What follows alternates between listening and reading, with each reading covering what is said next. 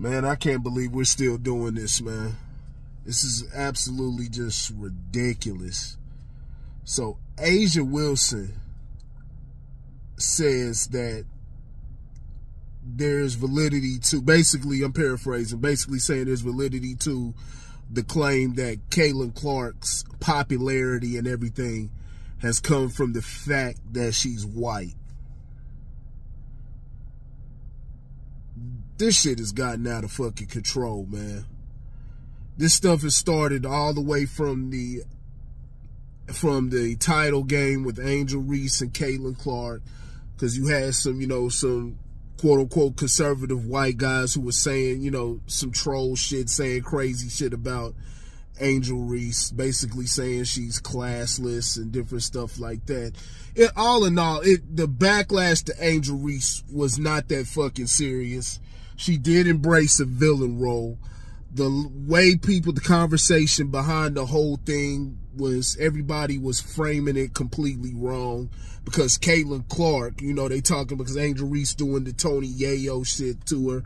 And I didn't have a problem with it. I like the competition. I like the shit talking within sports. but it was not the same as when Caitlin Clark did it. Caitlin Clark, it was just something that she always did. It wasn't directed to a player. If you want to say that's the same exact fucking thing in basketball, you've probably never been, you probably never played sports or you're just being fucking disingenuous to serve your own bias, right? But it's not the same fucking thing. Uh, even when, you know, because Hailey Van Lith, who they said she did it to and was being classes toward when they were playing Louisville, she even confirmed that it was never done to her. And they even had, she even had a conversation with Caitlin Clark following that. But Angel Reese did the shit directly to her, especially as the game is winding down and they've already got the dub in. I mean, shit, you're always going to be seen as a villain doing some shit like that. It doesn't matter who you are. You're Draymond Green, you're fucking Conor McGregor, whoever it may be. Damn race, gender, or whatever the fuck it is, right? But people don't like the frame shit. They don't like the frame. They just lose sight of stuff like that because they want to whine and bitch. And they got victim mentality about every fucking thing, man to where they're not even applying objectivity or logic to anything. This shit is fucking stupid. So in turn from all of that, you had some trolls. And like I said, some of the stuff that was being said about Angel Reese what wasn't cool, right? But for the most part, it wasn't a huge backlash. There's white folks that love it. There's a lot of folks that like seeing Angel Reese play along with Caitlin Clark, and they brought a outstanding dynamic to the game, kind of like Larry Bird and Magic Johnson. But what you saw in turn, and a lot of black folks admitted this shit, they admitted this shit, is now they started jumping on and hating Caitlin Clark just because there was white folks that went at Angel Reese. What type of fucking sense does that make? Why would you not just go at the people who are talking shit. Why go at Caitlin Clark when she's not doing anything wrong but playing basketball, right?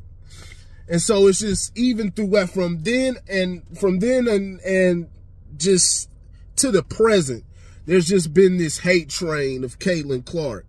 Uh, you had people talking, talking about uh, A'ja Wilson when it was after, Caitlin Clark lost the championship, and they want to talk. Why isn't A'ja Wilson? Just why does she she doesn't have a shoe deal? And why aren't we focusing on the champion, South Carolina, and shit like that? When y'all not even understanding, nobody there was nobody was fucking. And don't sit up there talking about oh I was and all of this. I was watching WNBA. I was promoting it on my sports channel years ago on my sports uh page years ago talking about WNBA, but people in general don't give a shit about the WNBA. They haven't.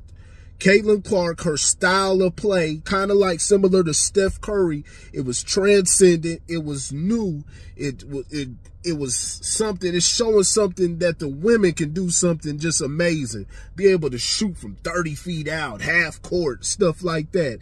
It's it and it brought a lot of eyes onto the game. And when you bring some have a player that's able to bring all of those eyes and bring that crowd, it's gonna bring revenue to the fucking game. That's just how shit works. Michael Jordan operated the same way. But these fools are so blinded by this victim fucking mentality that they're going to ruin that. Now they're stepping on her toes instead of embracing her. Is shit like like what Diana Taurasi said, saying, oh, it's, it's going to be tough and it's not going to be easy, stuff like that. That's cool.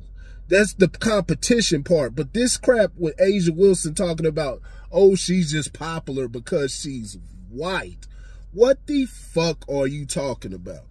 And stuff like this from people like her, like A'ja Wilson, a lot of the pundits, a lot of the people out here who were crying and whining and shit like this even with Caitlin Clark, Caitlin Clark went on Saturday Night Live and was still trying to make concessions and trying to, and because she heard all the backlash, she was trying to name all the the black basketball players that came before her, everybody that people were naming online, like, um, shit, I, I can't even fucking think right now, but you know, just Sheryl Swoopes, um, old girl who used to play with the uh, Lynx, she was cold. Um, I'm, I'm drawing a blank right now, but she, you know, Caitlin Clark did all of that, but none of that shit is enough to black folks, right? And, and she she should have known that. But this this whole thing is just absolutely ridiculous. She's bringing revenue to the game. She's bringing eyes to the game with her, you know, her being able to do this. And if everybody just embraces her, it also is able to highlight the other talent that's around the league. Black, black players, black women players, and all of that, right? It's able to highlight that shit. But it's they're gonna step on their own toes because of this crap.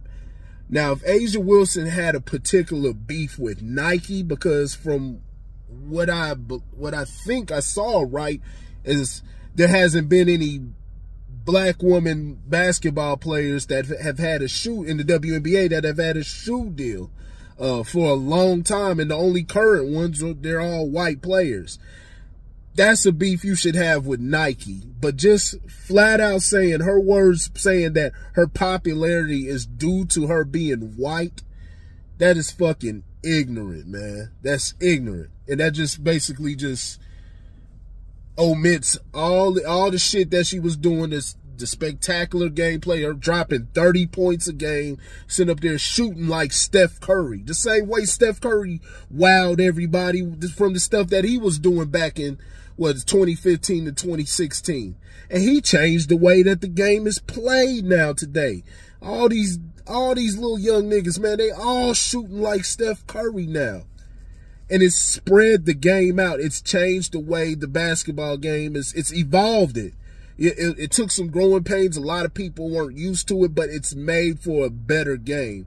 It's made for a better mixture. That threat of the three point shot from anywhere is always out there now because now other players are looking and saying, well, shit, I can do that too. And they're going out and executing it. It's the same thing for the women's game, and it's grown the game and it's expanded the possibilities of, you know, of their potential, of the women basketball players' potential. So why not just embrace this? Uh, but it's just so much fucking hate. A'ja Wilson. Then after Caitlin Clark's first game yesterday, everybody's talking about, oh, you see, oh, they all trying to dunk on her and trying to trash. I mean, she's a rookie. It's her first game. She's playing with the best of the best when it comes to women's basketball. It's going to be growing pains. Are y'all going to keep the same energy for Angel Reese if that's how you want to go at Caitlin Clark? I would hope you don't go at Angel Reese like that. You shouldn't go be going at neither one. Uh, they're two outstanding players that are going to be around for a long time. They're two great personalities. Uh, no matter what people think about Angel Reese, this is that Angel Reese is a sweet, sweet young lady, uh, and just just has all the charisma in the world. Um, her, her and Caitlin Clark, if they can get to that superstardom level and there could just be less of this bullshit that you see with A'ja Wilson, I think they could grow the game, but I, I just don't see it. I don't see it. They're going to step on their own toes because they can't get out of this fucking victim, this victim mindset. they can't get out of it. And they're gonna apply the, and then they apply the black with the woman. What's the what's the word for that? I, forget the word for it, but you know, they, you, you, you've added two minorities to it. So it's double victim, right? They're to apply that to the shit, man. And they're to step on their own toes instead of looking at this in a logical manner. So got to be strategic. This is bad, a horrible look by A'ja Wilson. And like I said, if this is the route you want to go, that's cool.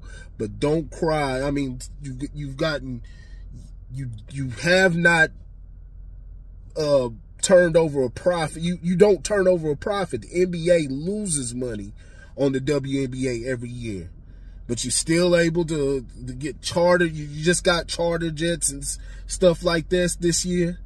Like that stuff is from Caitlin Clark because of the potential money, the ticket sales, different stuff like that.